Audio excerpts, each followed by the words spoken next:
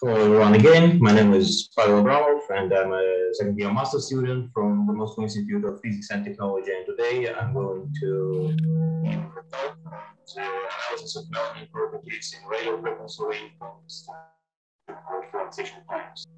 Uh, is better now? Uh.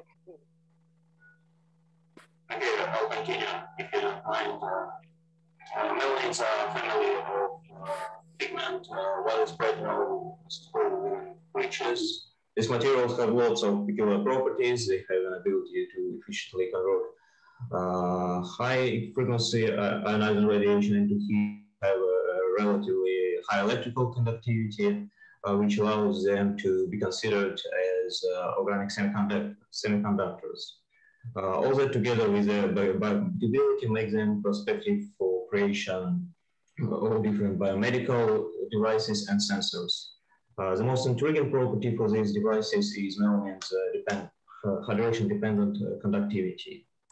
Uh, in this work, uh, we have studied two types of L-melanins, pure and chelated by ions of copper.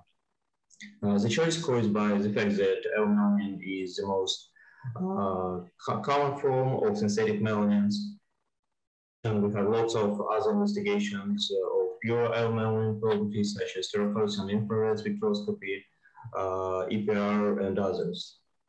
And uh, also to understand how could we modulate melanin's conductivity, we studied a sample chelated by ions of copper. Um, pure L-melanin have been studied by uh, other scientific groups uh, but and as, as this slide, uh, there are some published results of electrochemical impedance spectroscopy of melanin thin films uh, at the right side and pressed pellets the, on the left side. And also equivalent schemes and corresponding speeds are here. Uh, but it's easy to notice that all the speeds look similar to the experimental data and uh, especially problems uh, emerge, emerge at low frequency region uh, pronounced diffuse behavior prevails. Uh, all the articles use different schemes and uh, no one still succeeded to describe the radio frequency melanin's electrical properties. Uh, that brings me to the motivation for this work. Uh, and in the remaining time, I'm going to tell you uh, how we afford to change focus from equivalent scheme fitting for analyzing uh, low frequency relaxations. also, physical interpretation of these relaxations and show how chelation of, of uh, copper ions uh, affect melanin's properties. At this slide, uh, there are Nyquist plots for both samples. Um, for pure, pure on the right side and on the left side. Uh, the lines correspond to field,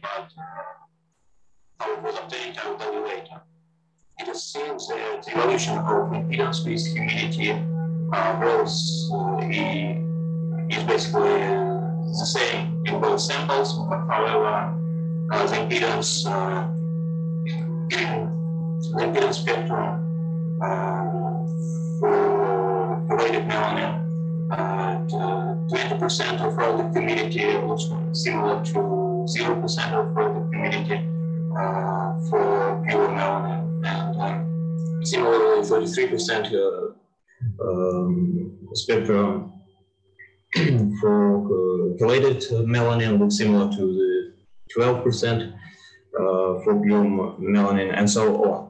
Uh, is due to copper as a strong complexing agent uh, can effectively bind with coordinational coordination sphere both water molecules and electrophilic groups uh, on the melanin units uh, included semiquinone uh, anions formed in course of comproportionation reaction and decreasing in such way conductivity. Now uh, I'll tell you how the speeds uh, were obtained. Uh, we used described in the literature distribution of relaxation times approach. This approach can extract uh, characteristics of an electrochemical system from impedance measurements. Uh, it's an extremely powerful instrument. Uh, its main feature is that it's model-free and doesn't require any initial guesses. about the studied, simple, studied system.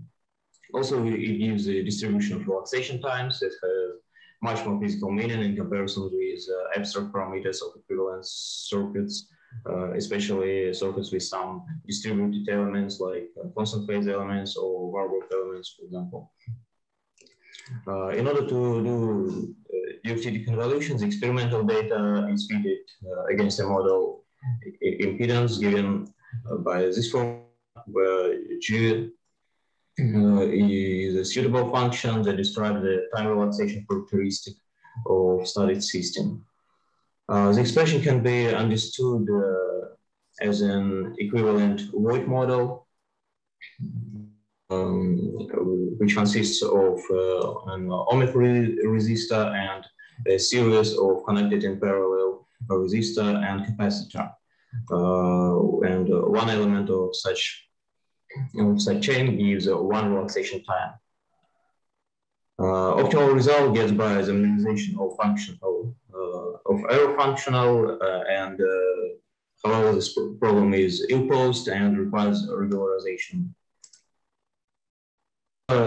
you can see some raw results of DRT convolution for both samples, and we're interested in dynamics of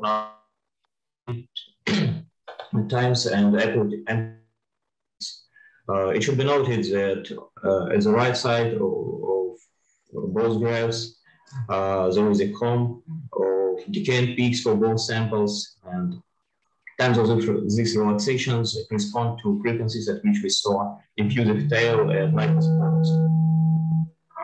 This approach affords to recognize diffusion, for example, minute length uh, element, which gives uh, good fit results that equivalent sort of method for melanin is uh, infinitive series for decaying peaks, uh, which we specified uh, relation for fixed positions and amplitudes. So this method confirms our guesses about low frequency in melanin.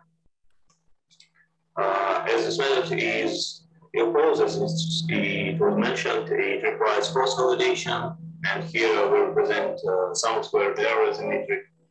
Uh, it's necessary to select optimal normalization parameter value at which the deconvolution will be physically meaningful.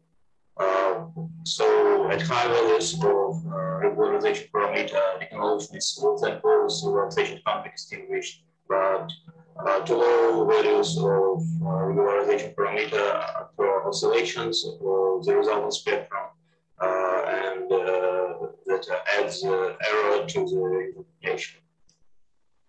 Uh, now I'm going to show the final results of our of uh, the DRT convolution for both samples, and here you can see peak position dependence on the relative humidity. So sample is calculated with proper relaxation predominant faster, uh, a little decelerating with uh, relative humidity increase from 60%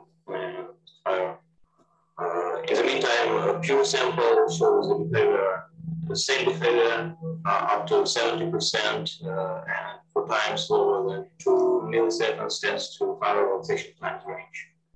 Uh, both, both samples have uh, close relaxation times at all relative humidity values uh, except the lowest.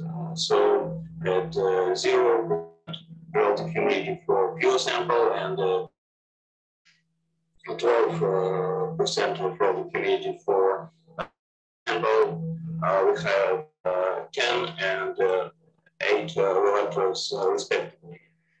the absent relaxers might be attributed directly to water molecules that give us information about the initiation of water elements. that gives us that brings us to the end of my presentation. Uh, let me go over the key points again. We have discussed a different approach to how to compare and analyze the impedance spectroscopy data. Uh, we have found uh, with copper ions melanin uh, highly decreased in comparison with the pure one. And um, we realized that copper ions form molecules uh, in in Mellon's matrix and hinder humidifying process. Uh, thank you for the attention. Now I'm ready to answer questions if there are any of them.